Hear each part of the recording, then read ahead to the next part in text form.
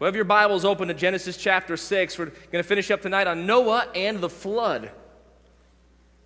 I preach this morning just to begin open up this, this passage on Noah and the flood.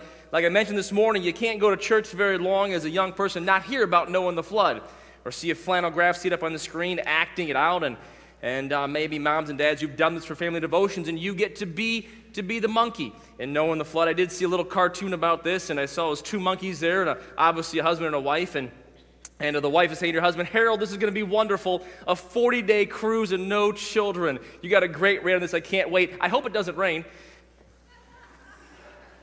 You'll get it.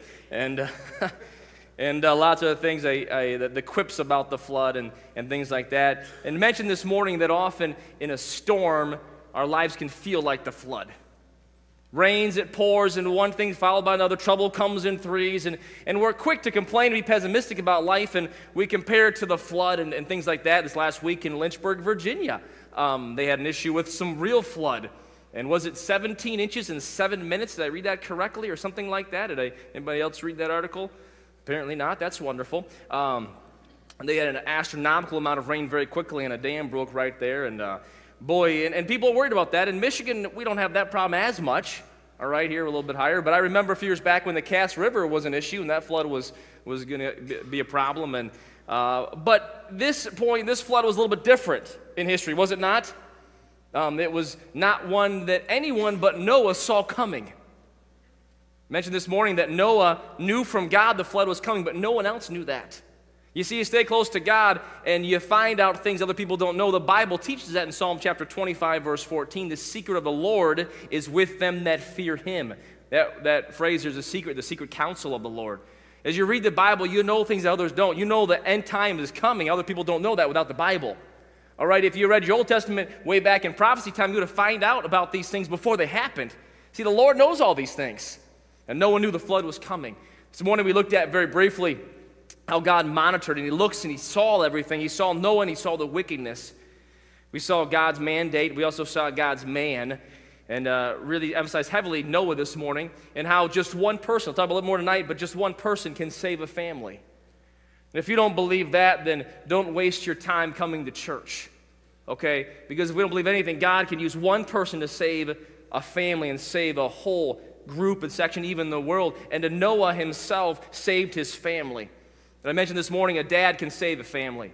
And a spiritual dad who is dedicated and walking with God can save a family. A mom can save a family. I know of people who, who, who the fathers are maybe way off the deep end, but mom is, is true to God and, and, and true to, to, to God's word and brings her children faithful to church, and, and those kids turn out for the Lord. Why? Because a mom saved the family. No other families where a grandmother prayed and saved a family. I even mentioned this morning uh, Joseph, a child, saved his family. And see, one person can save a family. And God is looking for people to use to save others. But tonight, if you would look in Genesis chapter number 6, where we find the account of Noah in 6, 7, 8, Noah and the flood. I want to look at another aspect tonight about the flood. And let's look at, though, verse number 5 of Genesis chapter 6. We'll start there. In verse number 5 of Genesis 6, the Bible says, And God saw the wickedness of man was great in the earth, and that every imagination of the thoughts of his heart was only evil continually. And it repented the Lord that he had made man on the earth, and it grieved him at his heart. And the Lord said, I will destroy man whom I have created from the face of the earth, both man and beast and the creeping thing and the, of the fowls of the air, for it repenteth me that I have made them. But Noah found grace in the eyes of the Lord. And these are the generations of Noah. Noah was a just man and perfect in his generations, and Noah walked with God. And Noah begat three sons, Shem, Ham, and Japheth. And the earth was also, also was corrupt before God, and the earth was filled with violence. Interesting that, that the Bible would, would emphasize not just a corruptness and the perversion of people, but that violence was a key mark of those times. And one of the things that upset the Lord was the violence in the whole earth. Is it safe to say we live in a violent time as well? I think there were 31 killed in Chicago, I think yesterday. Saginaw is not the safest place known to man, but it's not the most dangerous as well. There are wars and rumors of wars. We're not living in a non-violent, we're living in a violent time. And, and the Bible emphasis, emphasizes this here. Not only was it corrupt and perverted, but it was violent. Was filled in the earth. Verse number 12, and God looked upon the earth, and behold, it was corrupt, for all flesh had corrupted his way upon the earth. Here's where God spoke to Noah, and God said to Noah, The end of all flesh has come before me, for the earth is filled with violence through them. And behold, I will destroy them with the earth. Verse number 14 make thee an ark of gopher wood. Make thee an ark of gopher wood. Let's go to Lord in prayer tonight. Lord, I thank you for your word. I thank you for this account. Lord, I pray that you would help us as we look at your word to understand it. But Lord, may we go beyond understanding, may we live it. Would you touch us? Lord, may our hearts be open to what you'd have for us tonight. In Jesus' name, amen. Years ago, before he was involved in this uh, uh, legal dispute and these moral problems, Bill Cosby had a comedy routine on Noah and the flood. Now, anyone remember Bill Cosby? Date yourself. Okay, I actually remember this. Okay, anybody remember this little count of Noah and the flood? It was quite humorous the way that Bill Cosby portrayed this. He kind of portrayed it that Noah was sitting there one day and God came and said, Hey, you know, hey, Noah. And he's, he acted like, like Noah was looking around and eventually he said, You know, it's me. I'm up here. I want you to build me an ark. And he said, Right. You know, make it this big. Right. He said, It's going to rain. And, and uh, so it was pretty, pretty humorous about that. But we read this and I looked at this and I want to talk tonight, first of all, that inside of this huge flood after God's man and God's mandate, we have God's mercy. We have God's mercy. And I find this mercy on display in full colors in this chapter. And right here, that little phrase where God says to Noah, Make me an ark of gopher wood. I think we could all agree that we would see God's mercy in the ark. Would we not? Yes or no? Yes? We'd say, you know, Noah, Noah got himself an ark. Man, that's kind of cool. But is it really that cool? begin to study and look at this passage, and man, I begin to think, what if you were Noah? and you're a just man, you're perfect, you walk with God, and, and God comes to you one day and says, Listen, here you are in Saginaw, Michigan, and the earth is filled with violent, violence. I'm going to destroy the earth, but I'm going to save you. So I want you to build something. Now, if you were like most people, you would not have chosen the ark. If it was me and God said, Listen, I'm going to send a flood, I'm asking for a luxury yacht. That's what I'm asking for. I want something with a few different decks to it that I can relax and have a hot tub on the top deck, all right, and slide out there. I want a yacht. I want something with a big motor. All right, this ark had no motor. Didn't, couldn't paddle the ark, you had to float. I want something with an engine on there, and the bigger engine, the, the better, right? Come on, men, help me out here. And then not better than one motor is two motors on this thing. All right, and let's see how fast this thing will go, and let's ski behind the ark. All right, we wakeboard, and no, get back on the boat. All right, Shem, put your life jacket on. That's, that's uh, Noah's wife yelling out the back of the ark. But God didn't send an ark to Noah either, did he? He didn't say, hey, Noah, you're going to walk down the street and you're going to find an ark outside. That's your ark. Use it. What did he tell him to do? Build it. Build it. Now, picture for a moment, or imagine for a moment, if Noah ever responded in his flesh. He built this boat and he had to cut down all the wood for it. He built this boat and he had to mix all the tar for it. He built this boat and every board he or his sons placed in the right place it was supposed to go and hammered it in place. And imagine the back-breaking work it would have been to build a huge, over 500 foot vessel piece by piece by piece. You wonder if one morning Noah wakes up and I'm like, come on, I never asked to flood the world. All right, remember, I'm the righteous one here. All right, and, he said, and I wonder if Noah ever had a pity party. And like, why did I get stuck building this stupid ark? You know, God, you built the whole earth. You could have built an ark for me. Wouldn't have been that hard. You could have had the trees grow closer to my house. All right, they could just pop up every morning. But no, instead, God said, God said, Noah, you have a task to do. I'm going to save you and your family, but there's something that you have to do. It's going to cause some pain in your life. This wasn't just an easy task, but this was God's mercy. You all said that. The ark was God's mercy. Yet God said, listen, there's something here that you have to do. There's something here that you have to perform. There's something here that's going to cost you something in order to, to see my mercy in full effect. You see, if I can tell you this phrase, we often want out of a situation, but God wants to take us through it. You know what? I wonder if Noah had, had the thought, I doubt he did, but he said, You know what, Lord? Why don't you not send the flood? Because that's how we pray. The doctor comes back and the doctor says, I'm sorry, but it's cancer. How do we pray? Lord, take the cancer away. We don't want God to take us through it, we want God to take us out of it. And God said to Noah, or gave to Noah, not the ability to be out of it, but to go through it. You see, often the things that we think are bad, God is using as a vessel of mercy in our life. Often the things that we don't understand, that we think, God, why did you allow this flood to come in my life, is actually the very vessel that God is using us to show His mercy. This afternoon, we had the, the privilege to take out that young couple that was here on their honeymoon. All right, they, they, they on their honeymoon and came here to church. And that's wonderful. Took them to lunch. They're telling us their story, how they met. And uh, she mentioned, the girl mentioned, Hudson mentioned, they're on their way to, to Bible college. He's going to Heartland this year. So Austin, his name is uh, Marcus, uh, Marcus and Hudson. And uh, man, uh, went on a road trip for three weeks. But she mentioned how, how she never would have met him had her mom not had a, had a cancer scare. The house was sold, they were planning on moving. Because of that, that issue, they changed their plans. And it wasn't but what, honey, two months later that Marcus came into their life and now they're married and he's going off to Bible college.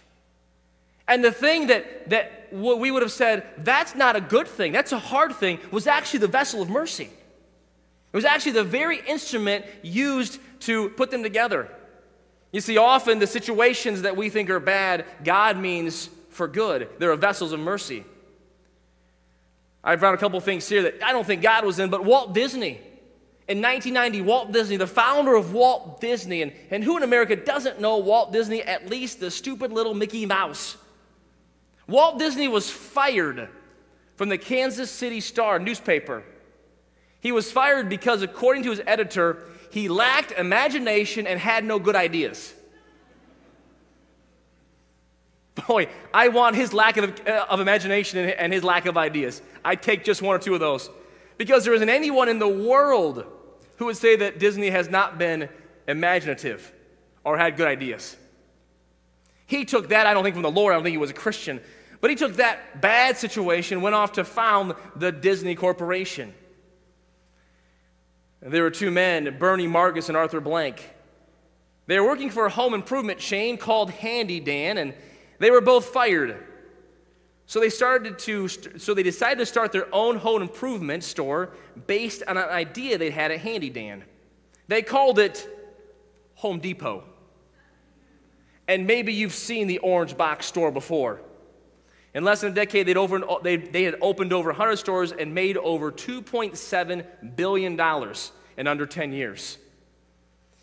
And by the way, during that time, Handy Dan, the one they were fired from, had shut down. But then I think of Joseph, what his vessel looked like slavery to prison to second in command. I think of the widow Zarephath, and her vessel was empty. There was nothing left in her little vessel until it wasn't. And the next day it wasn't, and the next day it wasn't. You see, the very thing that we think is going to be tough, the very thing that we think is, shouldn't be there, may be the very vessel that God is using to show us mercy in our life. You see, it's a different perspective. It changes this account. We look at Noah and the flood and say, Noah, man, you had an ark. Wow, that's so cool. Really? Really? You want to be stuck with stinking animals? This is really great. Anybody ever get car sick or seasick? Can you imagine being on the ark and those waves over the whole earth and just being tossed to and fro? Really? This was great. The jobs they had on the ark, now they got saved, but I don't, I don't think this, was a, this wasn't a vacation for them. I don't think after they said, hey, let's go take another ark trip. I think they're happy to see it parked on Mount Ararat and that part of their life done, but they wouldn't have traded it. You see, the very vessel we think is a problem may be God's mercy.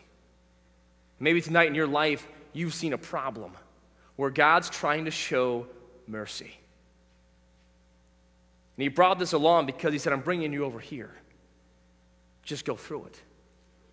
I want to put you over here, but you got to go through this. I'm going to take you through it. You see, God not only had plans for salvation, He had plans for sustaining Noah.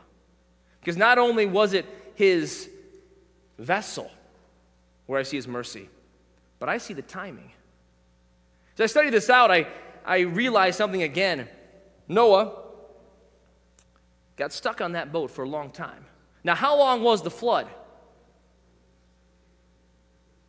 Come on here, you know, come help me here. 40 days, 40 nights. So how long was Noah on the flood uh, on the boat? Anybody know? I'm going to tell you, it was a long time. We won't read every verse, but let me kind of walk you through it on the timing. In verse 13 of chapter 6, Noah was commanded to build the ark. Verse 13 of chapter number 6. Chapter number 7, verse number 1, the Lord commands Noah to go inside of the ark.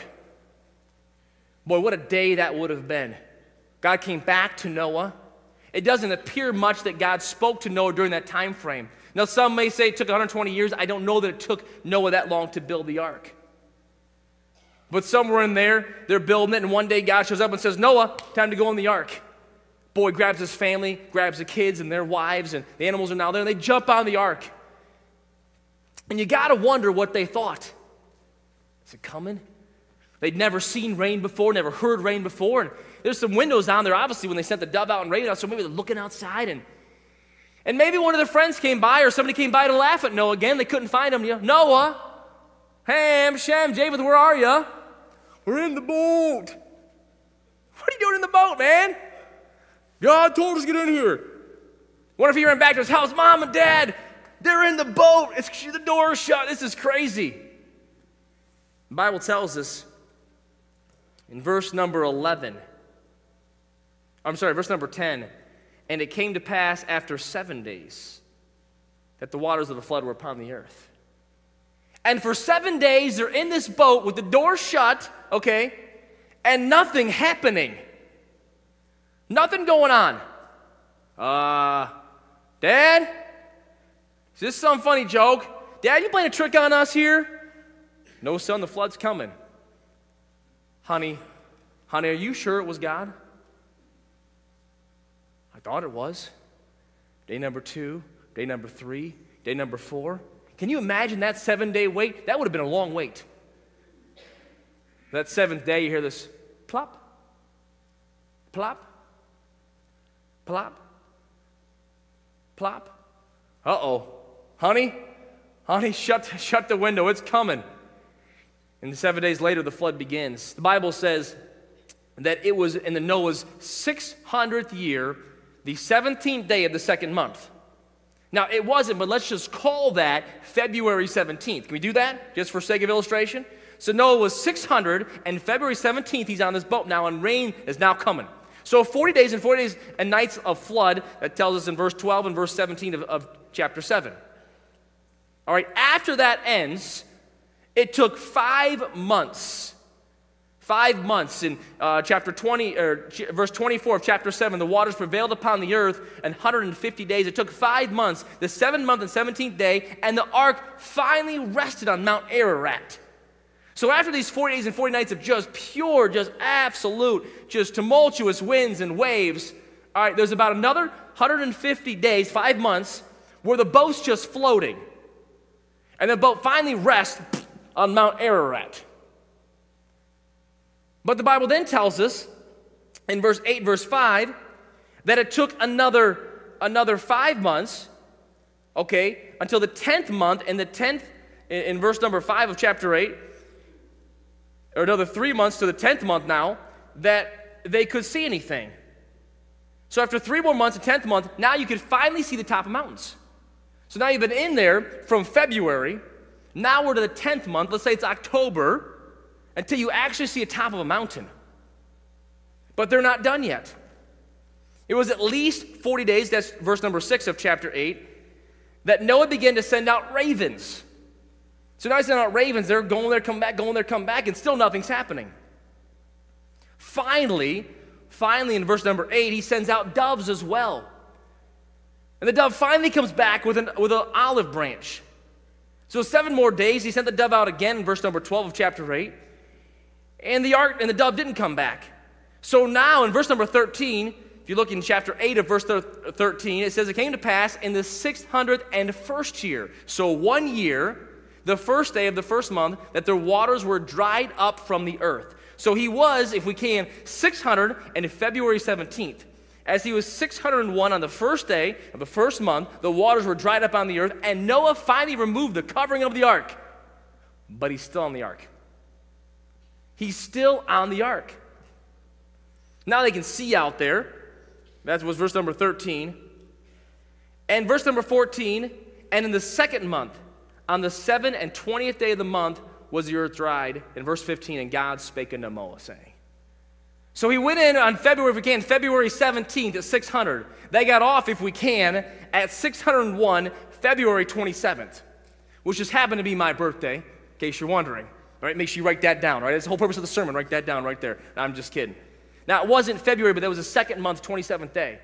So a year and 10 days, he and his family are on this stinking boat with these stinking animals. And then God spoke to him again and said, You can get off the boat finally. When Noah got on that boat, I guarantee he never thought he'd be on there for a whole year. I don't think he imagined he'd be stuck on there with his family's animals for a year. For a year. And at a time when they're waiting for the rain to begin, and, and then after the rain stops, 40 days is done, like, man, okay, all right, Dad, we get off the boat. It's, it's just like today. The kids were asking, Dad, are we there yet? Dad, are we there yet? Are we there yet? Oh, I don't know. Let's look. Okay, I think we're in a bathtub right now. There's all water everywhere. I wonder if he thought, what are we going to do? Are we going to be on here forever? Will this water ever go down and you feel that boat? You wake up and it's on Mount Ararat, big old maybe rumbling through the boat. Honey, what's happened? You look outside, boy, we hit something. I told you to let me drive. That's what she said. But a year and 10 days later. And God's timing was not Noah's timing, was it? And can I submit this? God's timing will not be your timing or my timing. Ever. It will not be what you want it to be. I promise you. All right, I have offered the Lord to buy him a watch. Because the Lord operates on his own time. Does he not? Does he not solve problems when he wants to? I, the Lord, sitteth in the heavens. Scripture says, Psalmist says, He doeth whatsoever He will. And sometimes we think, God, you've forgotten about me, but it's God's timing. And I see His mercy and His timing because here's the deal the food never ran out. The kids got sick, they were fine. The animals didn't die. And God not only saved them, He sustained them for a year and 10 days. The animals stayed put, the family was okay. And God took, t- took care of them every single day. You couldn't help but wake up and not see God's provision. And Noah was in a place that we need to place ourselves, and that is in the middle of God's mercy and God's grace. Noah only had one option, or he had two options. He could stay in the boat or he could go swimming. And the second one didn't look that good. Can I submit that in our life we only have two options? We can either stay in the boat or go swimming. But how many people do you know and I know who are Christians who decide to go swimming?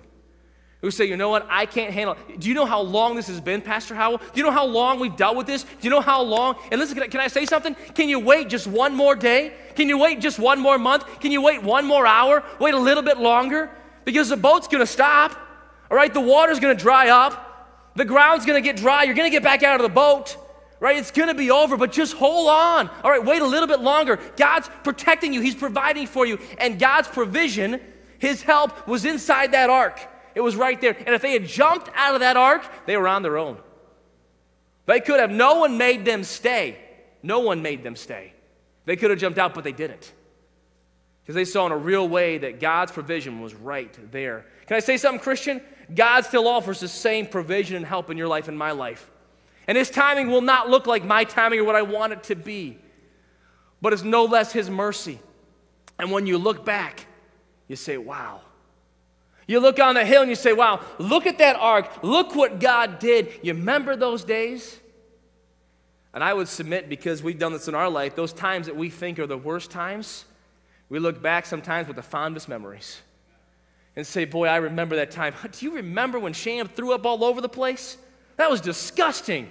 You've done that as a family, haven't you, after a vacation like that? Oh, man, I still remember an early vacation with James, and, and uh, we're driving, and all of a sudden the, the, the DVD player in the van quit. And within about five minutes, he threw up everywhere all over the place. And I did what any man in his right mind would do. I pulled over and I, at the nearest Walmart and I bought one. Right then, I bought another one. And it was the best $68 I spent the entire trip.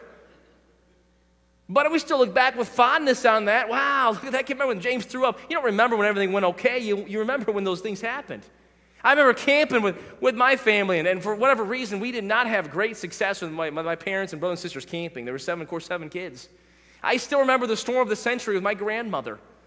Okay, and our tent is leaking right on my head. Andy, it's to this day why I hate leaky tents. Because I hate waking up to water dripping on it. It's like Chinese torture.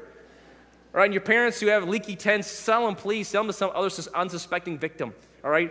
And let them have leaky tents. But those are the things you remember. And I wonder if they look back, and they looked back and said, listen, that ark, remember those days? Boy, they were tough. Boy, that boat, it was rocking all over the place. Boy, those animals, they stunk. Woo, that was, that was bad. But we got to see God work. And God's timing showed his mercy. Not only do we see the vessel of God's mercy, the time of God's mercy, but we see the mark in the rainbow. One of the most familiar parts of the flood, verse number 20, and Noah builded an altar unto the Lord and took of every clean beast and of every clean fowl and offered burnt offerings on the altar. You know, he knew to do that because he knew before to do that. Noah had walked with God. Verse 21 of chapter 8 And the Lord smelled the sweet savor. The Lord said in his heart, I will not again curse the ground any more for man's sake.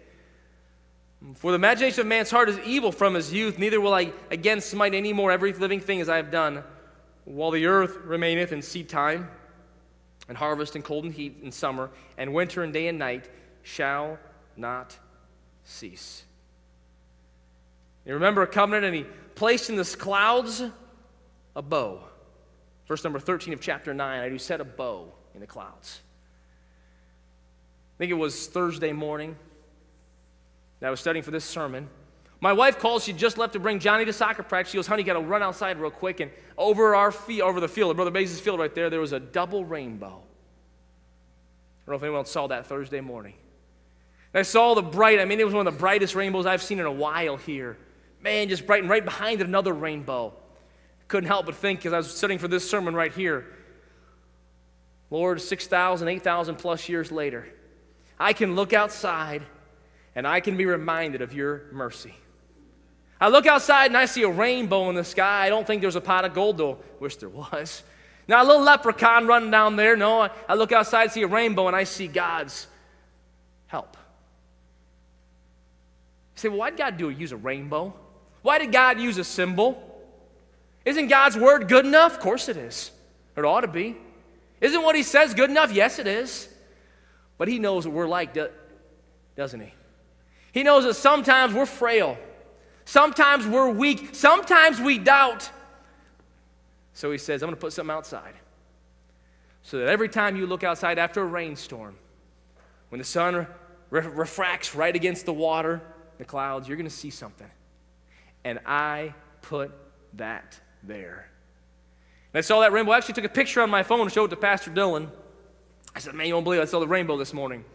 But I had to wonder, as pretty as that rainbow was, and I've seen some pretty pictures, what did that first rainbow look like? That was probably the, the best rainbow of all time when the Lord put that bow in the sky. Beautiful colors, deep. They'd never seen one before. Or if they just stood there and gazed at it. Wow.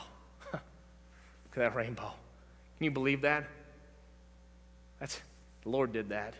He just painted the sky for us. Kids, that's God. I wonder if later on, when Ham or Japheth had some kids, their own kids, and one day a rainbow popped up in the sky and they said, Hey, boys, oh, Dad, we know. We know. It's not the flood story again, is it?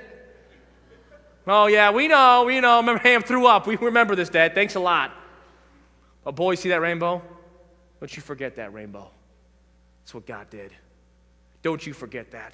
That's your promise of your God. That's just not my God and your grandpa Noah's God. That's got to be your God. One of Shem one day is hoeing outside, looks up and sees that rainbow. He pauses for a moment with his hoe and says, Thank you. Thank you. Thank you again.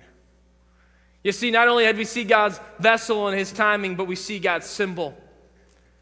And I tell you what, it is great to look back and see God's mercy in life. Because we need it, not, uh, you need it, and I need it. Because sometimes, sometimes life feels like a flood. But God always sends a vessel during the flood. And in that flood, His timing is not your timing, but God always wants to take you through it, not take you out of it. And when you're done, you can remember what God has done. Give you a few thoughts, a few closing thoughts about God's message from the flood. First thought is this in God's message God is always looking for people who will stand and follow Him. God is always looking for people who will stand and follow Him. Boy, it was Noah, but what if there had been five or ten? What if there had been six families who were gathering together to worship the Lord? What if there had been a whole church? Would God have spared the earth?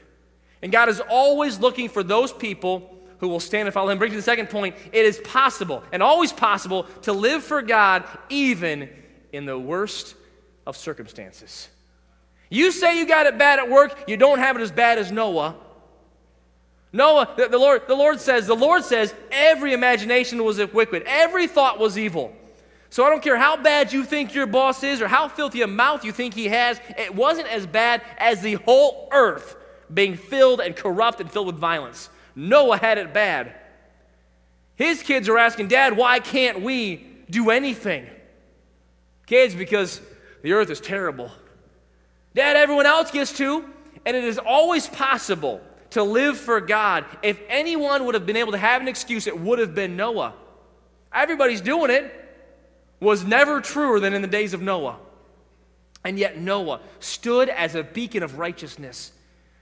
And so, it doesn't matter how bad you think you have it or how bad the circumstances around you are, it is still possible, always possible, to live for God. In the New Testament Hebrews, it tells us that Noah moved by fear to the saving of his family. And he became a preacher of righteousness so that by his act, he condemned the world. By his very actions, he condemned the rest of the world.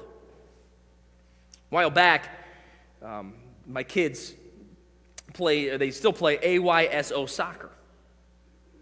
In this soccer program, it's in Frankenmuth. They go and they, you know, they do. I've told you about it before, and you know, the little kids don't keep score, but we as a family, we still keep score because we're scorekeepers.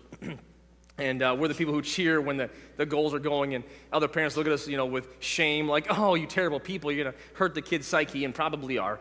And so it's just life, all right? They'll be in counseling later on, so that's okay. Um, but, but early on, someone had asked me, they said, you know, Brother Howell, would you consider not having your kids play AYSO soccer? And I appreciate the question. And I said, well, well what are you thinking? Uh, you know, what are you asking me? And they, and they said, well, we're afraid that, that if you do this, that perhaps some people will, will play as well, but then they will not go to church when there's a game, a soccer game conflicting. We told our kids early on, we said, listen, uh, we said, uh, if there's ever a conflict between church and soccer, church is more important. I should probably repeat that. We told our kids early on, there's ever conflict between church and soccer, that church is more important. Thank you, because church is always more important. We told our coaches early on the same thing. In fact, they moved a, a couple games, apparently, um, for, for the boys so they could play with them. I went back to this person and I appreciate their honest question. You can always ask me those questions. And, and I prayed about it and I went to, back and I said, listen, I said, I'm going to let my kids play for this reason or for two reasons actually. One, I want my kids to be able to be a witness. In fact, Johnny led his first boy to the Lord, the boy who was on a soccer team. Okay. But I said also, I want to be able to, to show that, that you can do this and still hold a testimony for the Lord. And it's not been a problem. They've missed some soccer games. But soccer is not as important as Jesus Christ. Soccer is not as important as, as this place right here. I know it's just a building we gather in right? The church is the people, but I love this place. I'm talking about this building. I love this place. I love being here. I travel sometimes on vacation and gone to some other churches. I love being right at First Baptist Church. I love the people I see out here in the fellowship and, and to find out, hey, how's it going with this or how's that going? And, and I mean, how'd that work out? And you did this, you did that, we're praying for that. How that I like that kind of thing, a family we have right here. And that's what a church is. And this is way more important than kicking a soccer ball down the field and scoring. And believe me, I love soccer and I love cheering and I love watching my kids play. But that's not as important as what we're doing right here. And don't tell me that that's going to be more. Listen, listen, pleasing the Lord is the most important thing we do. And Noah had to make choices that were not popular in order to stand for Jesus Christ, to, to stand for God. They weren't popular. We know that because the whole world was corrupt, only Noah wasn't. So what he was doing was not popular. It could have been popular, yet he still made those choices. So, dads, it's okay if you make an unpopular choice, as long as it's God's choice. It's okay if it's unpopular everywhere else in the world, just make sure it's God's choice. It's okay if it's unpopular in your family. I guarantee those boys, Shem, Ham, and Japheth, did not want to help dad build the ark at first. At some point, they were teenage boys. Most likely, they were born at some point inside of this story because the oldest one was 102 at the end. The very beginning, God said roughly 120, though it may have not have been the whole time. So, somewhere in there, these boys are growing up and they're getting dragged outside to help dad. And Noah is consumed with building the ark, so he's not consumed with helping keep the house up with his wife. This was not a popular thing, but you know what? In those 40 days and 40 nights, it was really popular, wasn't it? In the middle of that flood, they were really thankful dad took a stand for righteousness. They were really thankful that dad said, You know what? I don't care what the whole world is doing. As for me and my house, we will serve the Lord. So don't tell me it's too hard. Don't tell me, well, my wife won't let me. Don't tell me there's no one else making these decisions, so it must be okay. Don't tell me, well, my kids are convincing me to do this. This is it, it is possible to live for God and stand for God even in the worst of circumstances. And there is no excuse. There is no excuse. You see, if Noah hadn't lived that way, he would have died like everybody else. And he would have been a nameless face just part of the quote, earth, the whole earth. But because Noah was different, the scripture said, but Noah. So it's possible to live for God even in the worst of circumstances. Next thought is this our grieving should typically precede our judgment. I mentioned this this morning. I'll spend just a little bit of time on it tonight. But in verse number five, we see the scripture says that God was repented in his heart that he'd made man. And he was grieved. What it means is not that he changed his mind, but that the, the scripture means that he sighed. he was sad. I mentioned this morning that when Brother Swain was and I were talking one day, he said, JD, let your kids see your grief, not just your anger. And that stuck with me these 17, 18 years later. He told me that before I was married, before I had kids. It still has stuck with me that my kids don't need to just see my anger, my wrath, though this is a picture. I mean, God's wrath was on full display in this thing, the flooding of the world. But that it began with God's grief. He was vexed in his heart. He, his heart ached because of the sinfulness of man. His heart ached because of the wrong choices. His heart ached because what he saw was corruption. And so when we see corruption in our children, or corruption in our friends, or corruption in a marriage, or decay in a place, rather than our anger and our irritation, how about we show our grief? How it hurts. How it just like, oh, man. You know what? You, you hurt daddy. You hurt mommy. They know what anger looks like, don't they? They know what grief looks like? Yeah, I've seen my daddy grieve because the Lions lost.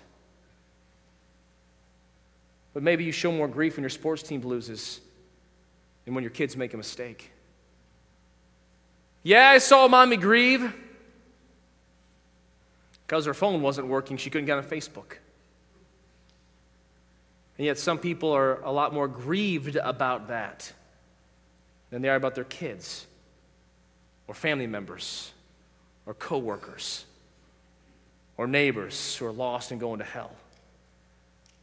May others see our grief. May in Saginaw they know a church who grieves for the lost. You remember the church Westboro Baptist, and they would, and they would, um, uh, they would march and protest at funerals and carry just vulgar signs. And they were known, I would say, for their vulgarity and their, and their really their ridiculous stance. And we ought to stand for something and we ought to stand against some things. And we will, as Christians in the Baptist, the Independent Baptist Church who follows the Bible, we will be against some things. All right, this is not the message to preach all that we're against. We're against some things. But that doesn't mean that we have to walk down every sidewalk in Saginaw carrying a placard every time someone makes a mistake. Can they not see our grief sometimes? Can they not know a church they can come and find some grief for the lost and the sin? Our grieving should typically precede our judgment. But then, this one, even in times of God's judgment, we can experience God's intense mercy. Even in times of God's judgment, we can experience His intense mercy. No doubt, the single worst judgment from God in all of history. You have Sodom and Gomorrah for a city. You have the children of Israel with some judgments. You have other nations who have crumbled, and, and because of prophecy, I believe it's God's judgment. But I can think of no other time in human history that God has judged in this particular way, and He says He'll never do it again. But even in that time of intense judgment, I see God's intense mercy. He made a way of escape. And so you may feel, God, you're judging me right now, but you can still experience God's intense mercy you can still experience what God has. And the last one is this God gives mercy, not just to save us, but also to sustain us. God gives mercy not just to save us, but also to sustain us. I'm so glad that the ark wasn't the end of the story. Noah built an ark. Done. Because it would have been a year and 10 days of pain. But I see God's mercy all through that, like we talked about. God's mercy after that with a rainbow in the clouds. Because God gives mercy not just to save us, and Jesus on the cross was his mercy to save us, but also to sustain us day by day. So tomorrow when you go to work, God has mercy for that right there. When you go home tonight, God has mercy. Go to the doctor next week, God has mercy to sustain you. You get the bill in the mail in two days, God has mercy to sustain you. Get a flat tire, engine drops out of your car. God has mercy to sustain you. Someone makes a wrong choice. God has mercy to sustain us. I'm glad God's mercy is not just to save us, but also sustain us. Lord, I thank you for your word. Thank you for this account of Noah. Lord, thank you for your mercy. And Lord, may we have a perspective where we see your mercy. Lord, forgive us for those times that we would have been unhappy with what you brought us. Where we would have grumbled about the ark, where really the ark was the perfect vessel for your mercy. I wonder who would say, Brother Howell, as you spoke, God spoke to me. Maybe it was the fact that what God is bringing as an ark, you've been grumbling about. And the vessel that God's bringing or God's timing has not been your timing, but God spoke to you. You said, Brother, how would you pray for me? Because now I want to see God's mercy and I want to see it for what it is. It's God's mercy. Would you pray for me tonight? Amen. Amen. Amen. Amen. Wonder who would say, though, I'd spend just a little time tonight, you know, Brother Howell, I want to be like Noah. I want to be that dad, that mom, that son, that daughter. Chance to save my family. Lord, touch my heart. Would you pray for me that I'd be the one that walks with God. Would you pray for me when you pray for the others? Amen. Amen.